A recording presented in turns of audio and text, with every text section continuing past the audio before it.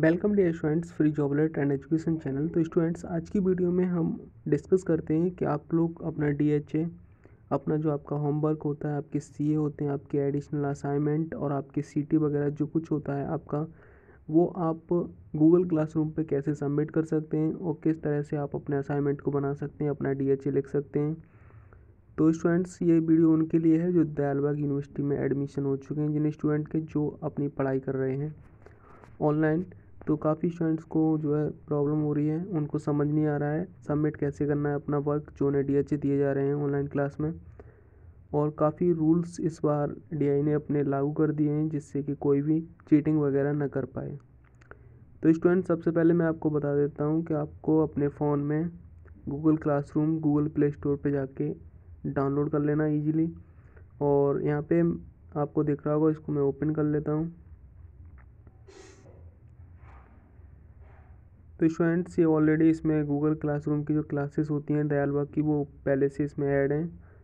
ऐसा आपके Google classroom पे आपको लिंक मिला होगा। आपके कोर्स की, आपकी फैकल्टी की तरफ़ से उसमें आपका कोड दिया हुआ होगा। कोड आपने ज्वाइन कर लिया होगा तो आपका इस टाइप का एक बॉक्स यहाँ पे क्रिएट हो गया होगा, जैसे ये बॉक्स आपको यहाँ पे दिख रहे हैं। तो स्टूडेंट्स, ऐसे बॉक्स आपके स्क्रीन आपकी जो गूगल क्लासरूम होगा, उस पर आ रहे होंगे। तो यहाँ पे स्टूडेंट सबसे पहले आपको करना क्या है, मैं आपको बता देता हूँ। तो इजीली आपको गूगल क्लासरूम जो ज्वाइन करना होता है, वो आपको कोड दिया होता है। लिंक पे क्लिक करेंगे आप, उस पर आपको कोड होगा। कोड आपको टाइप करना होगा और आप जो अपनी क्लास को ज्वाइन कर सकते हो। ऐसा बॉक्स बन जाएगा जब आपकी क्लास ज्वाइन हो जाएगी। यहाँ पे जैसे पीजी डिप्लोमा एच यानी कि P G H P G D H R S W यहाँ पे लिखा है। यहाँ पे कोर्स का नाम लिखा होता है। जैसे आपने अगर बीएससी में बीए में बीएड में डीएलएड में एडमिशन लिया है तो आप लोगों का यहाँ पे कोर्स का नाम लिखा होगा। उसी के नीचे आपकी फैकल्टी टीचर का नाम लिखा होगा। और अब यहाँ पे हम बात करते हैं, जैसे किसी को डी एच ए मिला है तो डी एच ए आपको सबमिट कैसे करना है? तो यहाँ पे सबसे पहले आपको क्लिक करना होगा अपनी क्लासरूम पे। क्लासरूम पे क्लिक करने के बाद स्टूडेंट आपको क्लास वर्क पे क्लिक करना होगा। क्लास वर्क पे क्लिक करने के बाद आपको, आपके पास स्टूडेंट तीन ऑप्शन आ रहे होंगे। जैसे कि यहाँ पे देखो ऑप्शन आ रहा है, एक तो स्ट्रीम का आ रहा है, एक क्लास वर्क का आ रहा है, एक पीपुल पीपल का मतलब होता है आपकी क्लास में कितने स्टूडेंट हैं जिन्होंने ये ज्वाइन कर रखा है। तो आप यहाँ पे क्लिक करके अपने स्टूडेंट्स को देख सकते हो। क्लास वर्क पे आप जाएँगे तो आपके टीचर ने यहाँ पे असाइनमेंट जो है वो आपका यहाँ पे अपलोड कर दिया होगा। तो आप जैसे ही उस पर क्लिक करेंगे अपने डी पे या असाइनमेंट पे आपके सीटी का जो पेपर होता है उसके लिए तो आपको वहाँ पे मिल जाएगा। तो अब जैसे किसी को डी एच सबमिट करना है तो देखो यहाँ पे आ रहा है डी एच ऑब्जेक्टिव और डी एच दो टाइप के होते हैं। ऑब्जेक्टिव होता है सब्जेक्टिव होता है। सी ए जो होता है वो आपका चार से पाँच दिन बाद या जब आपकी फैकल्टी जो टीचर होंगे वो चाहेंगी वो कर, एक महीने में चार सीए या फिर दो महीने में चार सीए वो ले सकती हैं अपनी इच्छा से। जो सी लेंगी तो वो आपको बता देंगे। अब स्टूडेंट्स कुछ नियम हैं जो आपको फॉलो करने हैं।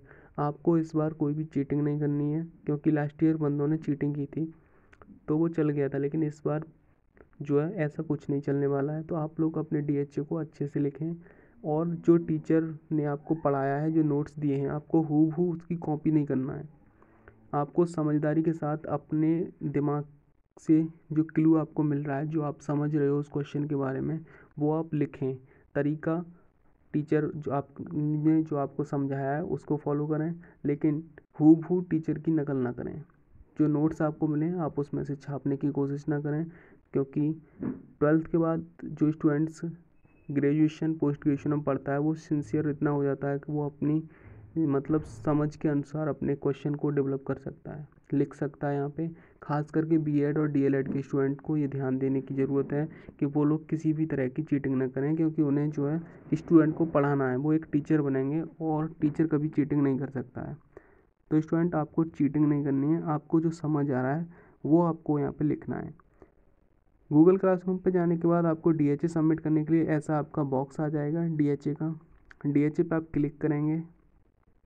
क्लिक करने के बाद देखो यहाँ पे ऑलरेडी सबमिट किया हुआ है ये। तो आपको करना कुछ नहीं है, अगर आपका कोई डी एच सबमिट नहीं है, देखो यहाँ पे सबमिट था, मैं यहाँ से इसको अनसबमिट भी कर सकता हूँ। लेकिन मैं ऐसा करूँगा नहीं अभी, क्योंकि वरना ये मेरी क्लास का ही हट जाएगा।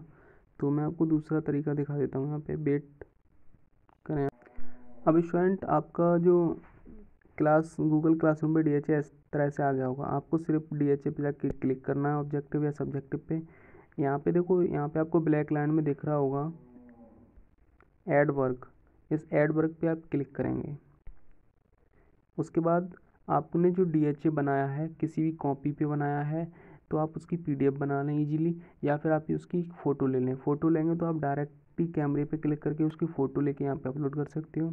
स्कैनर है आपके पास तो आप स्कैनर से कर सकते हो। कोई लिंक है तो लिंक भी अपलोड कर सकते हो। या फिर अपलोड डायरेक्ट आपकी आपके पास मोबाइल में कोई आपने पीडीएफ बना रखी है तो आप उस पीडीएफ को यहाँ पर अपलोड कर सकते हो।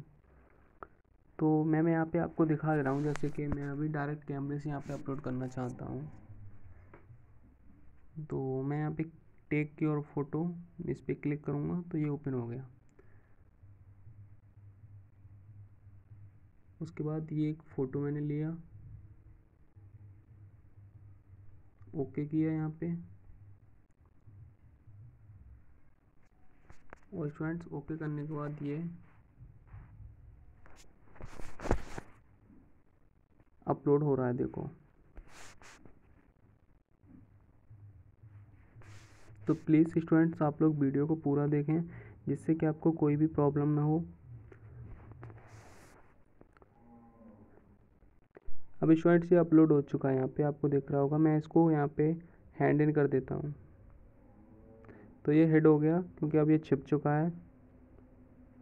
सबमिट हो गया यहाँ पे। इस तरह से आपको सबमिट करना है, अपना वर्क अब स्टूडेंट जो आपका सीए होता है, वो सी में आपको बता दूँ, आपका सीए जो होता है, उसकी आपको लिंक मिलेगी यहीं पे। और सीए जो होता है, उसका टाइम होता है आपको एक घंटे के अंदर या तीस मिनट के अंदर या बीस मिनट के अंदर सीए सबमिट करना ही करना होता है।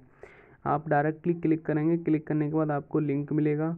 उस लिंक पे आप क्लिक करेंगे और लिंक पे क्लिक करने के बाद आपका जो सी होगा, वो डायरेक्टली गूगल पे जाके खुलेगा और उस पर आपको ऑब्जेक्ट टाइप के क्वेश्चन दिए होंगे। उस क्वेश्चन को आपको अटैम्प्ट करना है। ये मैं ऑब्जेक्टिव सी का बता रहा हूँ। तो ऑब्जेक्टिव सी आपका गूगल पे जाके ओपन होता है।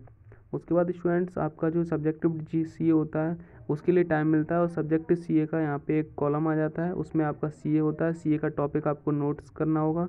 नोट्स करने के बाद स्टूडेंट्स आपको वो हल करना होगा। हल करने के बाद आपको पीडीएफ बनानी होगी या फिर डायरेक्ट मोबाइल से फ़ोटो लेना उसका।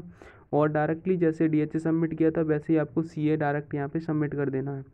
सीए सबमिट करने के बाद आपका जो सी होगा, वो डी में आपका सबमिट हो जाएगा। अगर टाइम से पहले सबमिट होता है तो मिसिंग नहीं आएगा वहाँ पे। अगर टाइम के बाद होता है तो मिसिंग आएगा। ओके स्टूडेंट्स मिसिंग आता है तो आपका चेक नहीं किया जाएगा, आपको नंबर नहीं मिलेंगे, उसके फाइनल जो आपके मार्क्स मिलते हैं। तो ये आपकी बेसिक इन्फॉर्मेशन थी।